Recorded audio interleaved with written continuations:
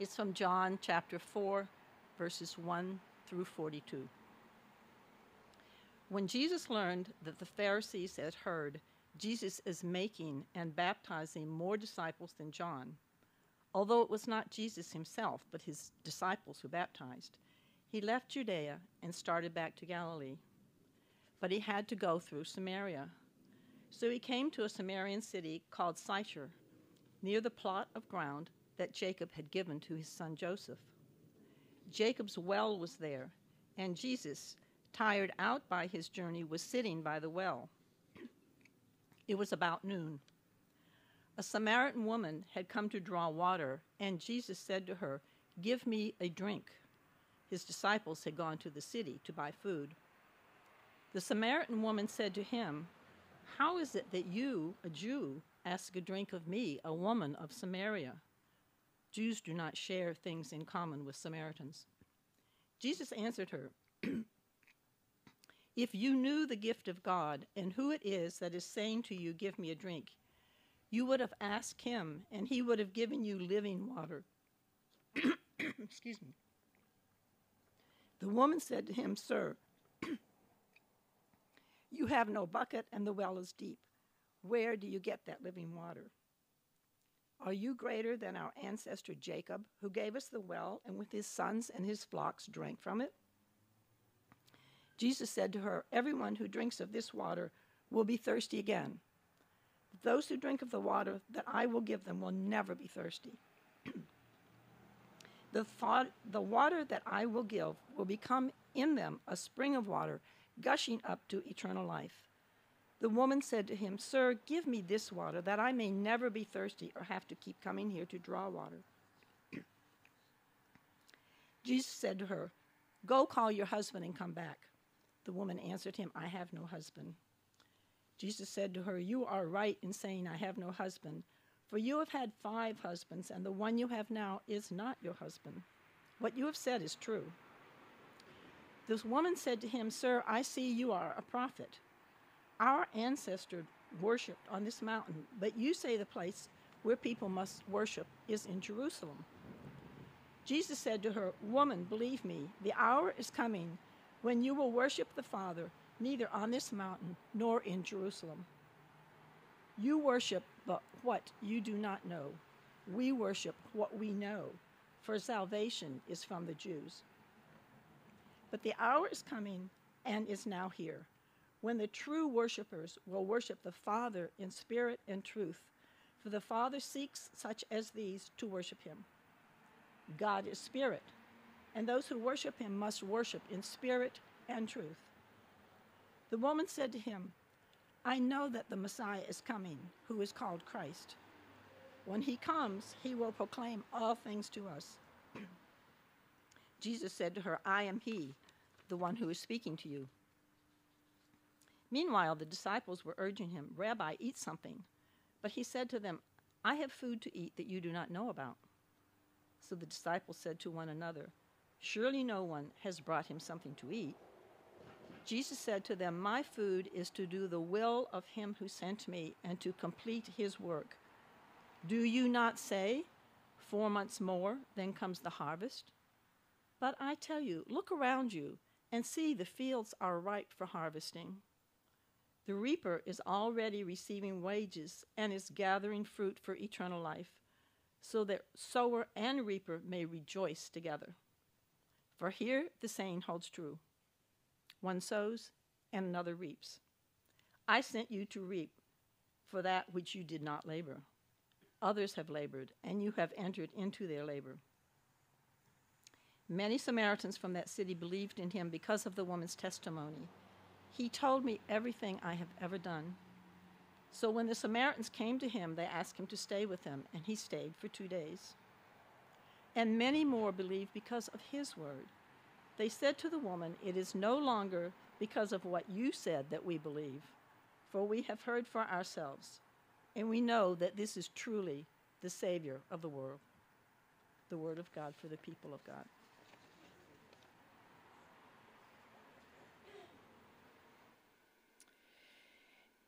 As you remember, across the summer, I've been preaching on questions or topics that you have submitted to me. And we're almost to the end of that, but only because we're almost to the end of the questions that I've got. So that, that offer is always still open. So send them in. If you're on live stream, wherever you want to send them in, I'll, I'll do them whenever. Uh, but today's question came as what's wrong with calling God Father? So, to kick that off, you know, there are a lot of passages that I could have picked, but I chose John, that long passage from John 4, verses 1 through 42, which is a passage where Jesus repeatedly does call God Father. I disagree with the premise of the question. I don't believe it's wrong to call God Father. But I think there are some serious issues if we only call God Father. And I think the story of Jesus with the Samaritan woman at the well gives us a good touchstone for exploring those issues. So, first up, I want to give you some context for the story you just heard. The setup is that Jesus and his disciples are moving from Judea in southern Israel to Galilee in the north. Better illustrate it this way. Um, that route usually took longer than it needed to because the region of Samaria sat in the middle of the two regions. Jews and Samaritans in the first century were bitter rivals. So rather than set foot on Samaritan soil, when Jews traveled from Judea in the south to Galilee in the north, they crossed over the Jordan River and they went through the desert to go all the way around Samaria so that they didn't have to cross the border. So it's breaking a taboo when Jesus marches himself and the disciples right across that border into Samaria and up to a well in the city of Sychar, where he will send his disciples to go find some lunch. This also wasn't just any old well. This well was famous for being the place where Abraham's grandson Jacob had dug a well about 2,000 years before Jesus was born. So this is an iconic, historical, sacred site. That well today now sits within the complex of an Eastern Orthodox monastery in the city of Nablus in the West Bank. Here, at one of Samaria's most sacred locations, Jesus continues the taboo smashing by engaging with a Samaritan woman with a pretty robust marital history.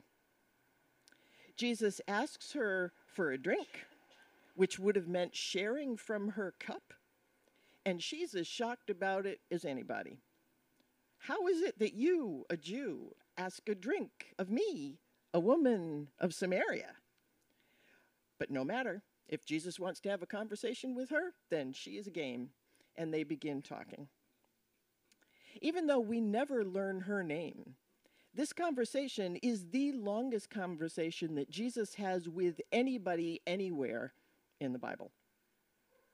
It's also a substantive conversation. She is not cowed when Jesus lets her know he's aware of her history. She comes right back at him with one of the key points of tension between Jews and Samaritans the proper location of worship. The Samaritans worshipped on Mount Gerizim, the Jews worshipped in Jerusalem. She throws down that challenge, and Jesus engages with her, just as he does with his disciples, the Pharisees, or anybody else in the Gospels. With that as background, let's weave in the question about calling God Father. Remember back at the end of May when we talked about the Trinity and how God, how the use in John of the word son for Jesus is a metaphor. Well, it's the same with addressing God as Father. God is not Jesus' literal father any more than Jesus is God's literal son. They're both metaphors. And the support for that apart from just common sense and the traditional understanding of the Trinity in Christian doctrine, I think is in this story. The first exchange Jesus has with the woman at the well is actually very similar to the exchange he has with Nicodemus in the chapter just before. The content is different, But in both cases, Jesus is trying to stop someone from taking his words literally. In chapter 3, we have the learned Pharisee Nicodemus, who helped to govern the religious life of Israel. He's part of the Sanhedrin, the ruling body for religious life in Israel. And Nicodemus hears Jesus say, You must be born again, and tries to get his brain around a grown man crawling back into his mother's womb. That leaves Jesus astounded that someone with the stature and education of Nicodemus has apparently checked his brain at the door. And Jesus says, Are you a leader of Israel and you don't know these things? He's shocked. Here in John 4, a likely illiterate Samaritan woman makes the same mistake, but this time about water. Jesus says he could offer the woman living water. In a literal sense, living water in the Bible there meant running water, like a river rather than a spring or a well or a pool. So she too jumps to the literal words and said, Yeah, give me that so I don't have to come here every day to draw water. This is heavy hauling this thing up and up and down out of the well. I'll take the faucet in the house, please. Nope, that's not what he meant either. Just like being born again, the phrase living water is, guess what? A metaphor. And then the disciples come back with lunch spanning the range of the educated tax collector Matthew to unlearned fishermen like Peter, when Jesus tells them he has food to eat that they don't know about, they're checking his pockets and wondering what Samaritan could possibly have wanted to offer a Jew hospitality and brought the guy some food. And Jesus again has to stop and correct them. My food is to do the will of the one who sent me. Jesus has several episodes of that with his disciples across the Gospels. So within just two chapters, you have Nicodemus, the Samaritan woman, and the disciples all making the mistake of taking Jesus literally when he's actually speaking in metaphors. And what's true in those stories around the edges is even more manifest at the heart of Jesus' conversation with the woman who's right about where we're supposed to worship, the Jews or the Samaritans? Jesus does answer that question and, not, no surprise, sides with the Jews. But then he quickly points out that the whole argument is really beside the point. The hour is coming and is now here when the true worshippers will worship the Father in spirit and truth, for the Father seeks such as these to worship him. God is spirit, and those who worship him must worship in spirit and truth. With those words, Jesus obliterates all the debates about the technical and material aspects of our worship, both then and now. God is spirit and ask that our worship simply be filled with the spirit of truth, no matter who we are, no matter how or where we do it, no matter what words we use to address that great spirit who is beyond our ability to fully understand or articulate. Excuse me, articulate. Our only tools for talking about spiritual matters are metaphors. And the Bible gives us a lot of them, actually. It's a treasure in a field, it's a pearl of great price. It's like a kingdom, it's like a city, it's like a garden. And encountering it is like being born again or drinking from a clean river of running water. Picking just one of those metaphors would be unwise and unhelpful. We see where the sole focus on born again has landed us. It's a great metaphor, but no one metaphor can contain the whole. The more diversity we have, the closer we can get to the ineffable Spirit of God. It's the same with the metaphors used to describe God. The Bible is packed full of wildly diverse images of God. Father is one, it's a wonderful one. But picking only that one has had unintended consequences for us 2,000 years later. And that problem might be easier for us to see if we think about what might have happened if we landed on one of the other ones instead. In Psalm 62, God is called the rock of my salvation. That's a great metaphor. But what if we'd spent the last 2,000 years only addressing God as a rock? Sure, we'd understand God to be strong and a source of shelter, but we might also begin to see God as impersonal and unmoved by our prayers or our fears. Imagine growing up in the church from infancy with only the image of God as a rock. Would we easily think of God as being compassionate or forgiving? But the Bible doesn't just give us one metaphor. Rock works for some situations, but not for others.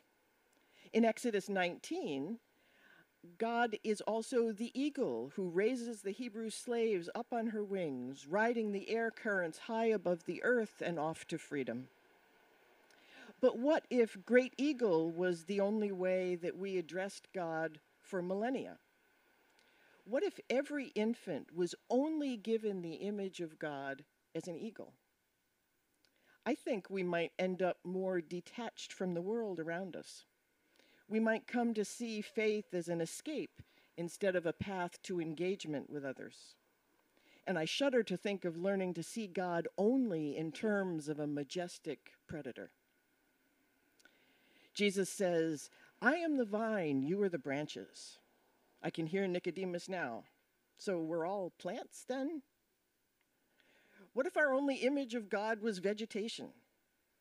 Supple, nourishing, sure but no match for a John Deere or a chainsaw. Jesus also likens himself to a hen wanting to gather her chicks under her wings. He says he's a gate to the sheepfold. God appears in the Bible as cloud and fire and whirlwind. The Holy Spirit is feminine in the Hebrew scriptures, wisdom personified as a woman each one adds more nuance to our understanding of God. But any one of them alone turns the living God into an idol of stone. Which is not to say there's anything wrong with having our own preferences as individuals. That's part of the point. We come from different places and find our connection to God more easily through some images than through others. In the Gospels, Jesus does prefer to address God as Father, many times using the more intimate term, Abba, the equivalent of daddy. Well, doesn't that make it the right thing for us? Well, we believe Jesus was fully divine and fully human. Guess who disappears from the gospel story after Jesus turns 12? Joseph. Could it be that the humanity of Jesus was drawn to the metaphor of God as a father because he missed and needed a replacement for his own? Throughout the Bible, we have an enormous array of images for God. The discussion with the Samaritan woman makes plain that all of it is metaphor. God is spirit, not animal, vegetable, or mineral, not male or female, not Jew or Samaritan, not Christian or Hindu or Sikh. True worship will lift us beyond those distinctions. But because we keep taking Jesus' words literally, just like Nicodemus, the woman at the well, and his disciples on many occasions, we latched on to Father as the only acceptable way to address God and shoved all of the rest of those glorious images out. And it has hurt us. One set of people that it's hurt over time are those who've had abusive, negligent, or otherwise delinquent fathers. For them, it can be nearly impossible to reconcile a loving God with their own experience of their fathers. And when we insist that's how God always must be viewed and addressed, we either re traumatize people or they, understandably, decide to love themselves enough to leave the church. It's not really a picnic for fathers either who then bear the burden of thinking that they have to perfectly embody the love of God or shoulder what's really an outsized and unfair risk of ruining a child's faith. That's not fair to dads. The insistence that God can only be viewed and addressed as a father has also done extraordinary damage to women. It set the norm for only male authority in the church and millennia of such a focus has discounted and diminished the equally valid but decidedly different way that women exercise leadership, solve problems, and foster cooperation in the world. It's led to turning a blind eye to violence against women and to normalizing economic hardship, not just for women, but for every society that doesn't elevate our gifts to the benefit of the whole. And that's just the tip of the iceberg. Many, many books have been written on the impact of women of viewing God solely as Father. I've been on the pointy end of that stick my entire life. People ask me if there's sexism in the church, and I respond only on days that end in Y. but as we rush to scrub the father and male language from our texts and liturgies, I urge us to proceed with caution. If we'd been raised only viewing and addressing God as mother, we'd have the same set of problems in reverse. And in part because of the limitations of English, if we leave out pronouns for God altogether, we're back to the issue of God as an impersonal rock. I think there's a better way. When it comes right down to it, Jesus tells the woman at the well, God is spirit, which can manifest as anything. God can, and I believe does, take an enormous variety of forms because humanity is diverse, and God becomes known to us in whatever way speaks most clearly to us. That's what a loving God would do. If seeing God as a father is an obstacle because of your own life's experience, then try mother, or eagle, or rock, or vine, or gate, or even chicken. Our liturgies in our lives together shouldn't be this or that image. They should be this and that, and this other thing, and many more than any one of us can possibly imagine alone. Once we understand that Father is a metaphor, that God is not literally male and a dad. Once we realize that God can show up as literally anything on earth, think about what that could mean for our children and the world.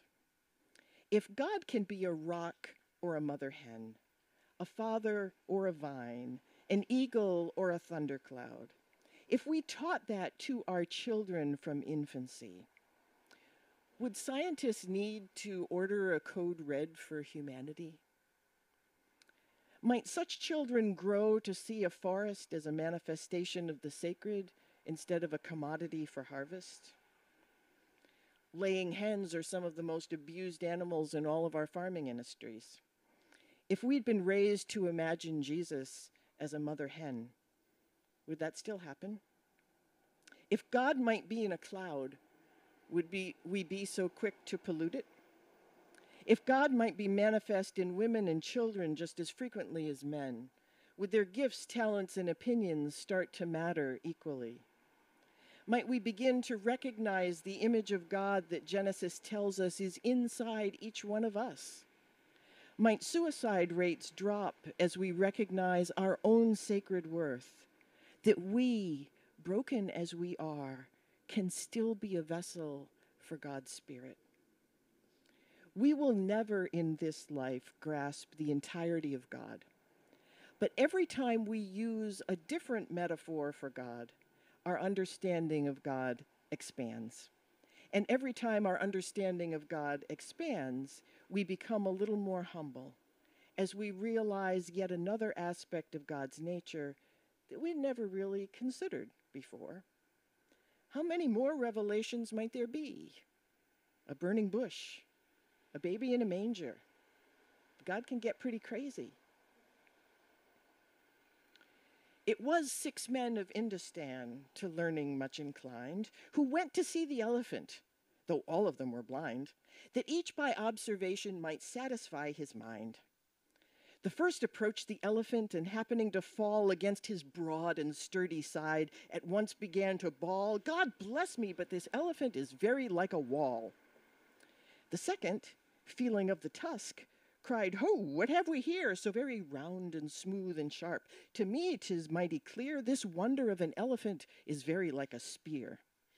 The third approached the animal, and happening to take the squirming trunk within his hands, thus boldly up and spake, I see, quoth he, the elephant is very like a snake. The fourth reached out his eager hand and felt about the knee. What most this wondrous beast is like is mighty plain, quoth he. Tis clear enough the elephant is very like a tree. The fifth who chanced to touch the ear, said, In the blindest man can tell what this resembles most. Deny the fact who can. This marvel of an elephant is very like a fan. The sixth no sooner had begun about the beast to grope than seizing on its swinging tail that fell within his scope, I see, quoth he, the elephant is very like a rope. And so these men of Indostan disputed loud and long, each in his own opinion exceeding stiff and strong though each was partly in the right, and all were in the wrong. So oft in theologic wars the disputants, I ween, rail on in utter ignorance of what each other mean, and prate about an elephant not one of them has seen. Amen.